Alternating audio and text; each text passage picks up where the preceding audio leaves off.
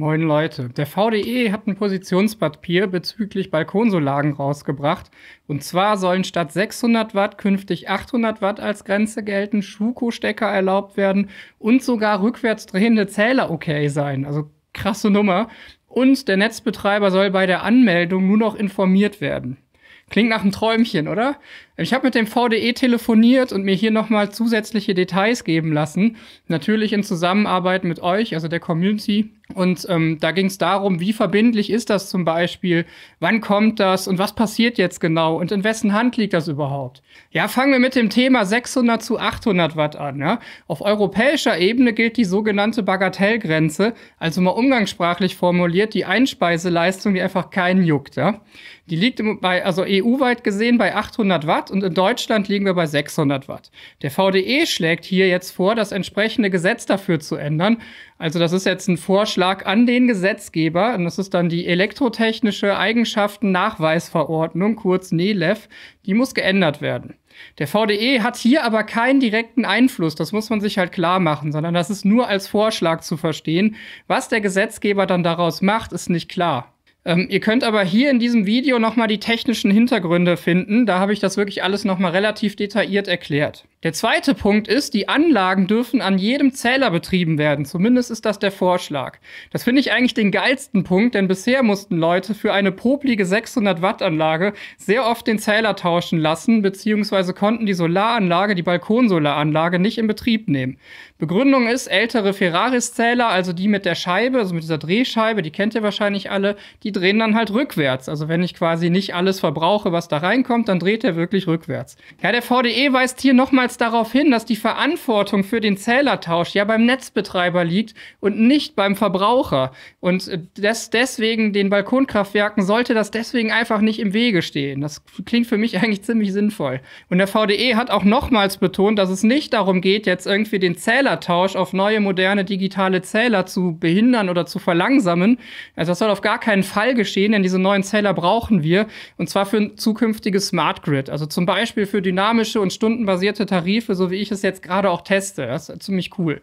Das ist ein sehr, sehr wichtiger Schritt vermutlich in der Umstellung unseres Stromnetzes. Ähm, natürlich muss man auch sagen, was die Leute mit bereits neuen Zähler betrifft, ja, so muss der Gesetzgeber das irgendwie regeln, denn hier, das wäre ja ein bisschen unfair. Das heißt, wenn ich einen neuen Zähler habe, dann wird nur, dann habe ich nur das, was ich selber verbrauche, quasi gespart. Wenn ich aber so einen alten Ferraris-Zähler hätte, dann würde er wirklich rückwärts laufen und ich würde den vollen Strompreis quasi negativ bekommen, was auch natürlich irgendwie cool ist. Trotzdem muss man sagen, dass natürlich der Eigenverbrauch hier bei so einer kleinen Anlage auf jeden Fall das, ähm, das größere Ding ist, sodass das in meinen Augen jetzt kein wirklicher Hindernisgrund sein sollte. Also es ist, wir reden jetzt hier von nicht wirklich viel.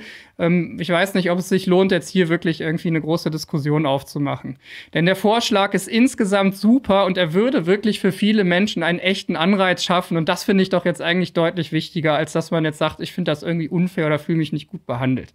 Leider ist es auch so, dass diese Änderungen wieder eine Änderung durch den Gesetzgeber bedürfen. Das heißt, der VDE hat hier im Endeffekt gar keinen direkten Einfluss, ist auch wieder nur als Vorschlag an den Gesetzgeber zu sehen. Ich komme aber gleich noch mal ein bisschen näher darauf zu sprechen. Okay, der nächste Punkt, die Anmeldung Anmeldung soll vereinfacht werden. Also hier war ich mir nicht 100% sicher, aber ich erkläre es mal so, wie ich es verstanden habe. Wenn ich meine PV-Anlage oder meine Balkonsolaranlage in dem Fall anmelde, dann mache ich das erst beim Marktstamm-Datenregister von der Bundesnetzagentur. Das ist so eine Webseite. Und die sendet das dann zum jeweiligen Netzbetreiber und der wiederum kann dann nach Gutdünken entscheiden tatsächlich. Also der muss dann entscheiden, wird die zugelassen oder nicht. Und diese Kette, die soll, soweit ich verstanden habe, bei der Bundesnetzagentur ändern. Das heißt, dass der ähm, Netzbetreiber eben nicht mehr sagen kann, ich erlaube dir das nicht. Das wäre ein mega Fortschritt und würde die Anmeldung zumindest bei schwierigen Netzbetreibern, es gibt auch echt nette, also wir haben jetzt zum Beispiel sehr viel Glück, ähm, erheblich vereinfachen. Auch hier ist das wieder als Vorschlag für den Gesetzgeber zu verstehen und auch hier hat der VDE leider keinen direkten Einfluss, aber wie schon gesagt, darauf komme ich gleich nochmal. So, und jetzt kommt der richtig geile Punkt, die verfluchten Schuko-Stecker, ja. Weil wie sehr mir das auf den Sack geht, ja. Also diese verdammte Diskussion darüber schon seit Jahren, ja.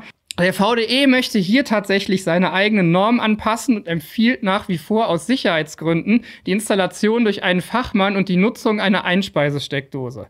Je nachdem kann auch ein Tausch des Leitungsschutzschalters nötig werden und so weiter. Also das ist jetzt wirklich auch gerechtfertigt, das ist kein Quatsch, sondern das, also da geht es wirklich um die Sicherheit. Ich kann euch auch wirklich hier nur mein Video empfehlen, da habe ich es nochmal detaillierter erklärt. Okay, aber tatsächlich werden Schuko-Stecker nun bis 800 Watt ausdrücklich geduldet. Ja, also das heißt, der VDE sagt, wir haben jetzt zumindest nichts mehr dagegen. Und das ist, glaube ich, schon mal eine gute Sache. Hier geht es jetzt wirklich um eine Norm beim VDE, also keine Änderung beim Gesetzgeber nötig. Also das wird dann in aller Voraussicht auch kommen. Ähm, ich erkläre euch aber auch gleich noch, wie die nächsten konkrete Schritte aussehen. Also kann man jetzt hier echt mal sagen, diese Schuko-Stecker-Scheiße hat jetzt hier, glaube ich, einfach mal ein Ende und ich habe einfach keine Lust mehr auf diese Diskussion. Darüber freue ich mich wirklich total. Der letzte Punkt betrifft die Sicherheit der Anlagen. Der VDE legt jetzt hier eine Norm vor und das ist wirklich die weltweit erste Norm zu dem Thema. Und zwar zum Thema Gesamtkonzept steckerfertige Balkonsolaranlage. Also die Hersteller von wirklich komplett steckerfertigen Balkonsolaranlagen können sich dann nach dieser Norm bei einem Prüfungsinstitut zertifizieren lassen und ihr ihr habt dann die Sicherheit, dass ähm, das sicherheitstechnisch quasi alles auf einem guten Stand ist. Wenn ihr euch die Anlage aber selber zusammenstellt, beziehungsweise in Einzelteilen kauft, betrifft euch das also nicht. Genauso wenig ist das jetzt als Pflicht zu verstehen, sondern es ist eine Möglichkeit für euch, wenn ihr technisch zum Beispiel nicht so versiert seid, eine sichere Anlage zu kaufen und da einfach ein bisschen mehr sicheres Gefühl zu kriegen und mehr ist es tatsächlich nicht. Also so wurde es mir erklärt. Wie gesagt, das ist ebenfalls eine Norm und daher in der Hand des VDI. Der Gesetzgeber hat hiermit jetzt auch nichts zu tun.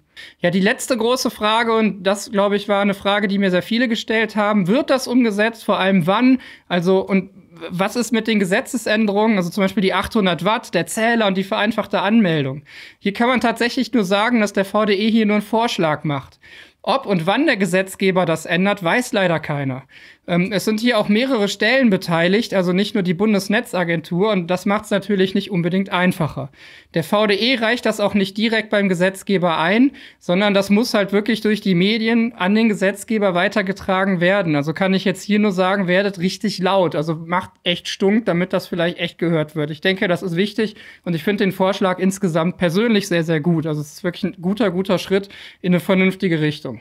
Also was jetzt diese Normen angeht, ja, zum Beispiel Schuko-Stecker und so weiter, da wurde der Entwurf bereits letzten Oktober vorgelegt und ist jetzt in der Kommentierungsphase. Die Kommentierungsphase bedeutet, dass momentan Verbraucher, Verbraucherschützer und auch die Hersteller das Ganze kommentieren dürfen, also es ist öffentlich, um das Ganze dann maximal transparent zu gestalten und wirklich jeden mit einzubeziehen. Also klingt eigentlich noch einer sehr schönen Sache.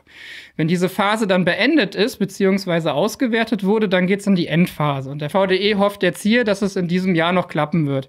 Aber eine genaue Aussage konnten die natürlich noch nicht treffen. Und ich denke, dass bei dem Thema es sehr viele Kommentare geben wird und das dauert dann halt. Ich denke, das ist verständlich. Ja, ich kann mich in, in der Stelle tatsächlich nur für eure Mitarbeit bedanken und auch für die coolen Fragen, die ihr gestellt habt. Also das sind echt Dinge, auf die komme ich jetzt auch nicht immer so auf Anhieb. Und ähm, aber einen ganz besonders großen Dank an Frau Rote vom VDE, die mir hier wirklich sehr viel erklärt hat nochmal. Also waren wirklich nochmal Details, die ich nicht ganz verstanden habe und Abläufe auch. Und ähm, das, das hat echt geholfen. Wir planen auch ein Interview mit einem VDE-Technikexperten, der mir dann nochmal detailliertere technische Infos geben kann. Falls das klappt, werde ich euch natürlich auch wieder die Möglichkeit geben, eure Fragen loszuwerden. Und ansonsten, ähm, ja, bin ich auf eure Meinung und Kommentare gespannt zu dem Ganzen. Würde mich über ein Abo und ein Like freuen und sagt dann bis zum nächsten Mal. Macht's gut. Ciao.